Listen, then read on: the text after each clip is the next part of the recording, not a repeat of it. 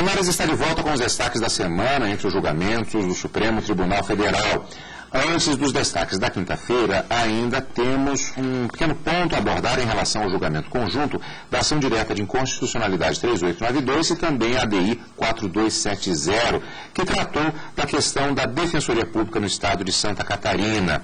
A questão abordada foi a prestação de serviços pela Ordem dos Advogados do Brasil, a chamada população hipossuficiente. Karina, a legislação questionada foi considerada inconstitucional face à Constituição Federal de 88.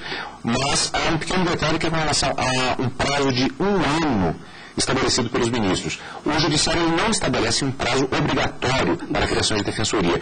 Como essa sutileza, que na verdade não é nem tão sutil assim? Como é que é isso exatamente, Karina? É, uma, incontestavelmente, todos os ministros, e assim por votação unânime, entenderam que a lei, o modelo de defensoria ou o modelo da assistência gratuita praticado no Estado de Santa Catarina é inconstitucional. O Marco Aurélio, inclusive, é, é, ressaltou isso no seu voto, mas não concordou com o que a maioria dos ministros decidiram relação à modulação dos efeitos da decisão tomada nessas duas ações diretas de inconstitucionalidade.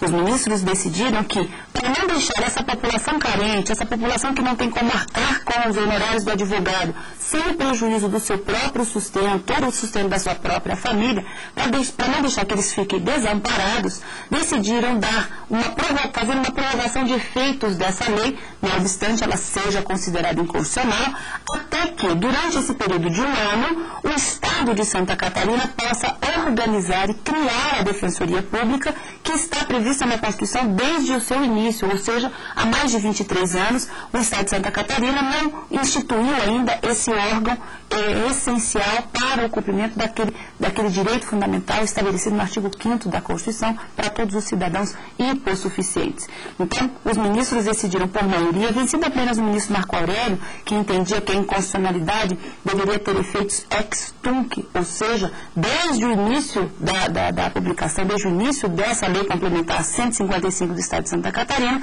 os ministros modularam os efeitos para que ela continue produzindo efeitos da data do julgamento até por mais um ano, até que neste período a instituição Defensoria Pública possa ser criada no Estado e com ela seja feito concursos públicos para nomeação de defensores públicos, que são remunerados pelo próprio Estado, e essa instituição tem autonomia funcional, tem orçamento próprio, administração própria, nos termos do artigo 134 da Constituição, conforme dada a redação pela emenda constitucional número 45.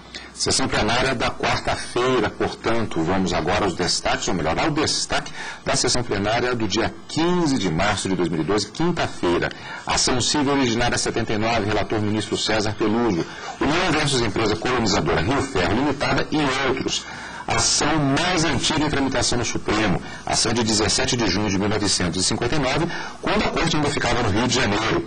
A União buscou a declaração de nulidade de contratos de concessão de terras públicas feitos com diversas empresas de colonização, com área superior ao limite então previsto no artigo 156, parágrafo 2 da Constituição, da Constituição Federal de 1946, de 10 mil hectares. É isso mesmo. Constituição de 1946. Para essa ação, os ministros tiveram de analisar a Constituição daquela data que proibia a doação de terras sem autorização do Senado. A doação das terras foi feita pelo governo do antigo estado do Mato Grosso, na época não havia Mato Grosso do Sul, instalado em 1979. A autora afirma que o relatório final da CPI do Senado Federal de 2 de julho de 1955, destinado a apurar as alienações ou concessões de terras devolutas pelo Estado do Mato Grosso, confirmou ter havido concessão de largas porções de terras públicas com a superior ao limite constitucional, 1946 a previsão, sem prévia autorização do Senado e ainda sustentou a nulidade dos contratos por ausência de solenidade essencial para sua validade. O primeiro relator do processo foi o ministro Cândido Mota Filho. O ministro Peluso recebeu os autos em junho de 2003. Caramba, em um período de tempo tão longo, são sucessivas gerações de pessoas que já estabeleceram relações, não apenas entre si, naquela região, mas também com a, as próprias terras. É, isso foi forte elemento de debate no plenário na quinta-feira. É, exatamente, e mais uma vez, a modulação de efeitos da decisão para evitar prejuízos muito maiores em relação à tomada de decisão nessa ação civil originária, por conta de tão antigo esse processo e tão antiga essa discussão. Cidades foram construídas, a vida das pessoas surgiram em decorrência desses contratos e declararam os nulos a partir de um determinado momento do julgamento do Supremo Tribunal Federal poderia mexer com a vida de milhares de pessoas que estariam afetas a esses contratos firmados lá atrás ah, pelo Estado ainda do Mato Grosso.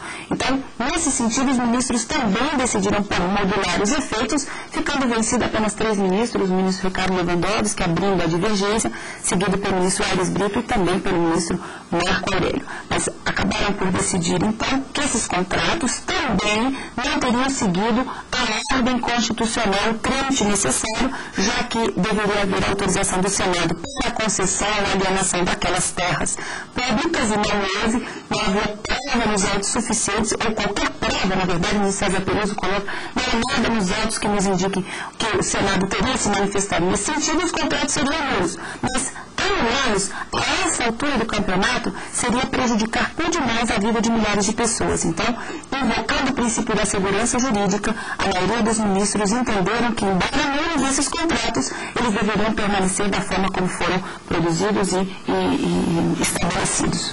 Voto, voto do ministro relator César Peluso, presidente da Corte. Confiantes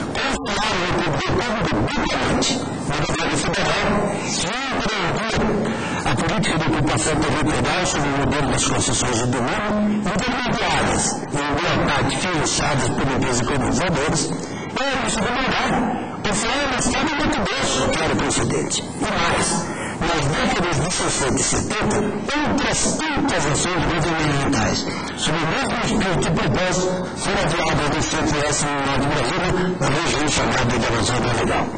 Nada fazia supor, portanto, objetivamente, que os títulos de propriedades concedidos não.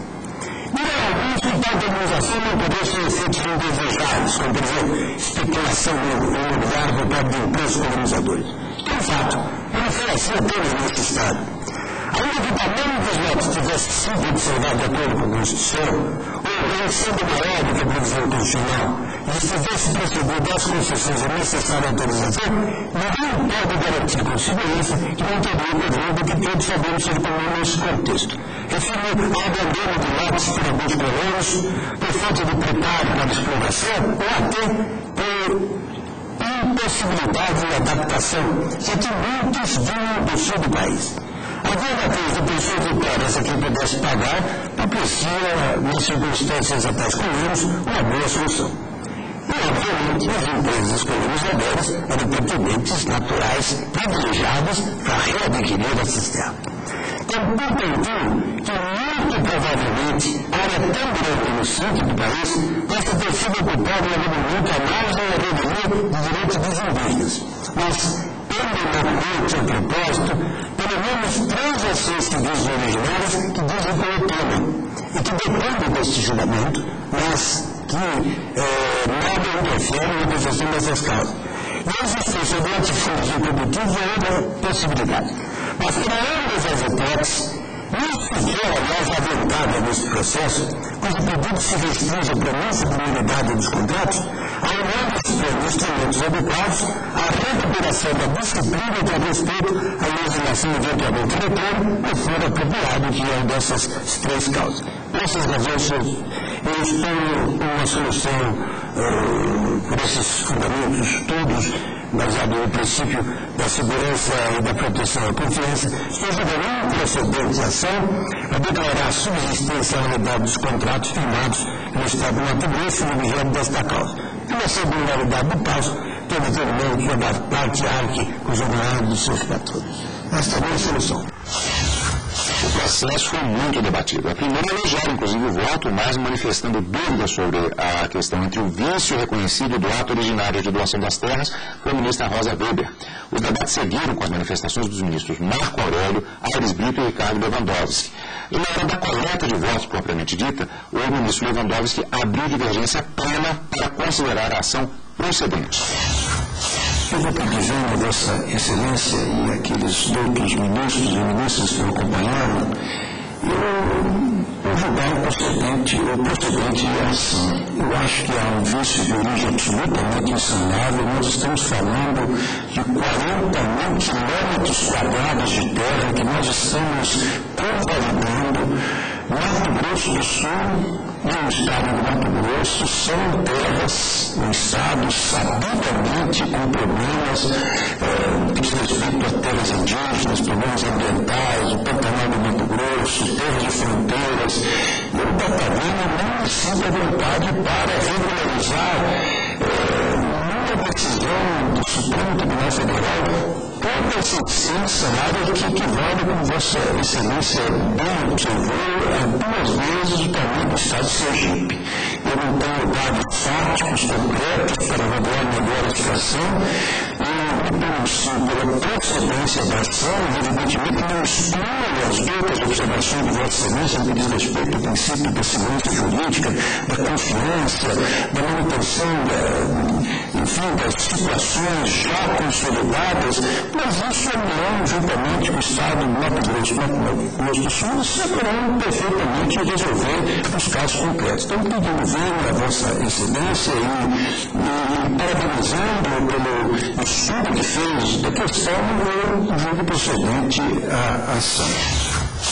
Karina, o resultado no plenário da quinta-feira. É, julgaram improcedente a ação civil originária, em caráter excepcionalíssimo reconhecer a validade daqueles contratos, não obstante eles é, violavam a Constituição de 1946, mas invocando o princípio da segurança jurídica, o princípio da confiança, né, da segurança, da proteção à confiança, os ministros votaram com maioria, é, acompanhando o ministro César Peloso, o relator. Vencidos a pena, o ministro Ricardo Lewandowski, Aires Brito e o ministro Marco Aurélio, que julgavam a ação procedente para declarar esses contratos absolutamente nulos.